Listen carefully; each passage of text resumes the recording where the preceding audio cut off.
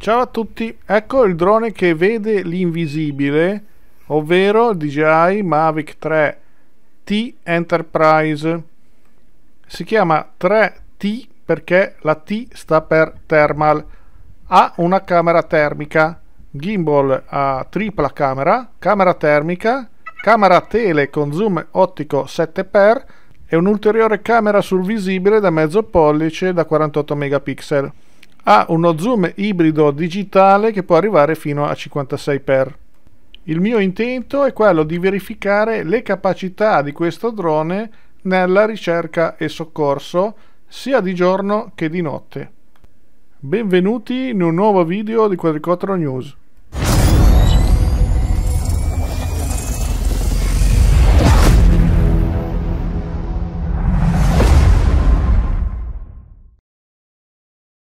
A proposito di visibilità, il monitor integrato da 5,5 pollici si vede anche sotto la luce diretta del sole perché ha 1000 nit di luminosità. Il drone è dotato anche di un beacon eh, installato sulla parte superiore che in questo momento ho attivato. Serve per essere visibile agli aeromobili con equipaggio. Per questo è posizionato sopra, ma è visibile anche da terra in certe angolazioni. Come ho detto nel precedente video, Tecnicamente si tratta di un Mavic 3, pesa leggermente di più perché ha le modifiche per installare gli accessori, la batteria è la stessa del Mavic 3, quindi sono intercambiabili, le eliche sono leggermente diverse nella parte finale, sulla punta. Tuttavia ufficialmente si possono usare anche le eliche del Mavic 3. Il radiocomando è la versione Enterprise del GI RC Pro che ha anche il microfono integrato. Inoltre si usa la DJI Pilot 2 come app. Come eh, caratteristiche di volo sono praticamente identiche a quelle del Mavic 3, quindi caratteristiche e comportamento di volo eccellenti. La sensoristica è uguale a quella del Mavic 3, quindi evitamento ostacoli 360 gradi, APAS 5.0, anche precision landing, atterraggio di precisione a patto di decollare in verticale fino ad almeno 7 metri rispetto al punto di decollo per dare modo alle telecamere verticali di scattare le foto del punto di decollo in modo che poi quando tornerà a casa in modo automatico portandosi sulla verticale riesca a riconoscere precisamente da dove ha decollato. Il sistema funziona se il punto di decollo ha caratteristiche diverse dal terreno circostante. C'è anche la modalità sport, in questo caso bisogna fare attenzione agli spazi di frenata quando si lasciano gli stick al centro, perché andando più veloce ha bisogno di più spazio. Come ho detto, ha un comportamento di volo eh, uguale al Mavic 3. Non, sono, non ho riscontrato differenze. Ma passiamo alla prova, alla verifica delle capacità per quanto riguarda la ricerca e soccorso e iniziamo con il volo notturno. Quando è buio oppure c'è scarsa luminosità, se la relativa voce è settata in modalità automatica, il drone accende la luce, i doppi LED verticali per illuminare il terreno, per poi spegnerli automaticamente quando raggiunge una certa altezza di qualche metro. Questa è la luce che fa il drone con eh, accesi i due led verticali. Ma guardate qua cosa succede? Guardate. Ops è caduto? Ovviamente non è caduto ho semplicemente attivato la discrete mode. Con la, questa modalità il drone è praticamente invisibile perché tiene le luci tutte spente. Con tutte le luci spente con il rumore che a 50 metri non si sente più eh, questo drone di notte è assolutamente invisibile, non si può notare e con lo zoom 56x e la camera termica è un formidabile strumento per la sorveglianza anche da parte delle forze dell'ordine. Per noi comuni mortali vi ricordo che non è permesso far volare un drone di notte se non ha almeno una luce verde lampeggiante. Notare gli ISO che arrivano fino a 25600 mentre con l'Enterprise normale il limite è intorno ai 6000 ovviamente a 7x il, lo zoom è ottico perché usa l'obiettivo naturale. Se ingrandiamo l'immagine si degrada. Possiamo arrivare fino a 56 x fino a 6.9 x ingrandisce digitalmente l'immagine della camera 48 megapixel. 7 x utilizza lo zoom ottico tele e da 7 x in poi utilizza lo zoom digitale ibrido. E questo è il risultato. E questa è l'immagine proveniente dalla camera termica.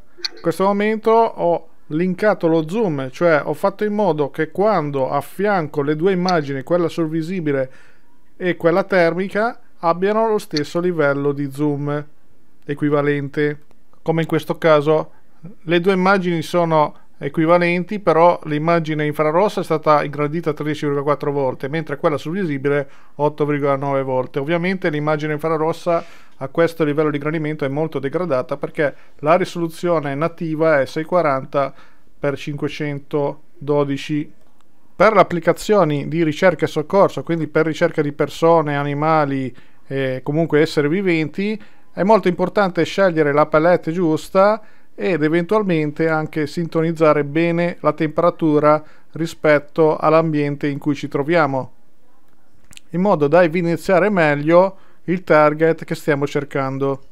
Ad esempio in questo caso ho sintonizzato la temperatura da 21 a 25 gradi in modo che, che venga evidenziato questo range di temperatura faccio una panoramica siamo sulla spiaggia ed ecco che ho individuato un possibile target. Allora faccio, inizio a fare lo zoom con la camera termica e vedo che potrebbero essere effettivamente due persone. Se affianco l'immagine sul visibile vedete che non si vede niente perché è buio, sono, si trovano in una zona buia e quindi non si riescono a notare con la camera sul visibile se non ingrandendo ah, moltissimo vedete i vantaggi che può dare una camera termica nella ricerca e soccorso. Ovviamente ci deve essere una certa differenza di temperatura tra, tra il target che stiamo cercando e l'ambiente circostante. Questa camera termica ha un'ottima sensibilità termica sotto i 50 millikelvin, quindi riesce a individuare differenze di temperatura di 50 millesimi di grado. In questo caso ho utilizzato la palette Hot White, che è una di quelle che preferisco, e vedete che ho già individuato delle persone. Sono a più di 100 metri dal punto home e, e il drone si pilota tranquillamente a vista perché le luci di navigazione permettono il pilotaggio a vista tranquillamente. In questo caso può essere utilizzato in condizioni A2 quindi 50 metri di distanza dalle persone non informate, oppure in A1 A3 a 150 metri di distanza rispetto alle zone residenziali e via dicendo. Quindi è meglio utilizzarlo in A2 oppure in ambito specific scenari standard oppure PDRA oppure operazioni specifiche con autorizzazione eh, a seguito di analisi SORA, autorizzazione che ovviamente deve rilasciare ENAC. Comunque chi utilizza questi mezzi per la ricerca e soccorso è a conoscenza degli aspetti regolamentari, quindi non mi dilungo troppo. Insomma, scegliendo la palette e sintonizzando eventualmente temperature si riescono a fare cose egregie con questa termocamera nell'ambito ricerca e soccorso. Naturalmente di notte gli ISO si alzano e quindi c'è molto rumore, però vedete questo è lo zoom 7x, zoom ottico, come sul Mavic 3 il 7x è la risoluzione ideale per quanto riguarda lo zoom perché è ottico. Altre risoluzioni si degradano sia inferiore a 7x che superiore a 7x. Vedete? Si vede proprio la netta differenza perché come ho spiegato prima eh, alle altre risoluzioni interviene lo zoom digitale. Qua siamo sempre con la termocamera palette white hot e guardate qua si vedono le persone sul molo. Ma la cosa interessante molto interessante è che queste persone si vedono con la camera termica però se io switcho sul visibile non le vedo più. Si vedono soltanto con la camera termica guardate. Sembrano invisibili non si riescono proprio a vedere, anche se ingrandisco non si riescono a vedere. Ecco, adesso a 7x qualcosina che si muove si riesce a vedere. Però guardate che differenza. Tra l'altro la camera termica adesso ha uno zoom 10 perché è attivo il link dello zoom in modo da confrontare allo stesso livello di grandezza le due immagini. Queste sono le immagini registrate dal drone su SD card perché le immagini che abbiamo visto fino adesso sono quelle ricevute sul radiocomando DJI RC Pro Enterprise. Naturalmente ho voluto fare così perché eh, quando si fa ricerca e soccorso quello che conta è l'immagine in real time. Immagine come abbiamo visto molto definita e il video di ritorno è a 1080p e non si sono visti nemmeno troppi scatti, quindi immagini molto fluide. Tra l'altro la termocamera funziona a 30 fps. Questa invece è una clip sul visibile, giusto per vedere come si comporta la camera a risoluzione piena registrata su micro SD card di notte e direi che posso provare il ritorno a casa automatico ed eccolo qua che accende la luce automaticamente per atterrare e lo proviamo di giorno. Vediamo la capacità di zoom di giorno se riesce a individuare una persona. Proviamo. Facciamo un po' di prove con questo zoom spingendolo al massimo in condizioni di luce diurna. Guardate che livelli. Ed è semplicemente incredibile. Ed eccomi qua adesso voglio provare se di giorno la camera termica riesce a individuare bene una persona. Nel frattempo vi saluto ma non andate via perché la prova non è, non è finita. Vediamo ancora questa parte. Il bip di sottofondo è dato dai sensori rilevamento ostacoli o l'APAS attiva, quindi è rilevamento ed evitamento ostacoli. Mi allontano, ho settato manualmente la temperatura, il range da 19 gradi a 37, è una giornata di ottobre, però ancora calda. Infatti vicino a me il suolo è caldo quasi come la mia temperatura perché io ho i vestiti ovviamente e quindi mi confondo. Vedete è difficile rilevarmi in queste condizioni. È una prova che ho voluto fare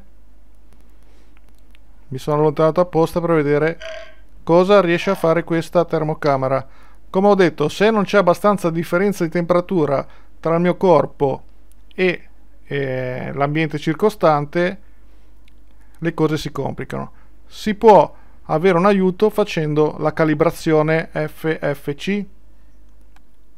Comunque vedete che se mi sposto vengo rilevato benissimo.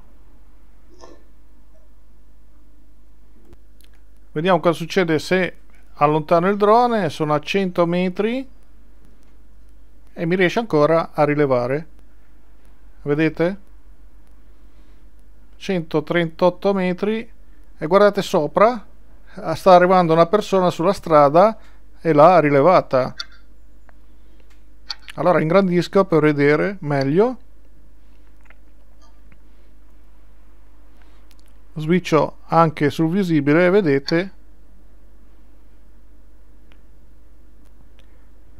Che riesco a individuare la persona. Adesso sta entrando in un'isola di calore e quindi è più difficile rilevarla con la termocamera. Però devo dire che è veramente performante questa termocamera ha una risoluzione da 640 x 512 ma quello che conta è la sensibilità termica che come ho detto all'inizio è di 50 millikelvin insomma questo drone per la ricerca e soccorso è fantastico a mio avviso. È lo strumento ideale anche perché è piccolo, è grande come un Mavic 3 ed ha un'ottima autonomia di volo. Nelle mie prove ho raggiunto i 29-30 minuti con ancora 5 minuti di carica residua. Tra l'altro ha anche la ricezione Galileo e quindi facilmente può raggiungere i 30 satelliti agganciati. Insomma, se chi lo conduce sa come gestirlo anche dal punto di vista della termocamera, può ottenere degli ottimi risultati nella ricerca e soccorso. Quindi per quanto mi riguarda assolutamente promosso, straconsigliato in questi ambiti. È giunto il momento di salutarvi, grazie per l'attenzione, spero che questo video vi sia stato utile per capire meglio questo, le prestazioni di questo drone. E iscrivetevi al canale se non l'avete ancora fatto, lasciate un like se questo video vi è stato utile. Ci vediamo con il prossimo video su Quadricottero News. Ciao a tutti e buona continuazione.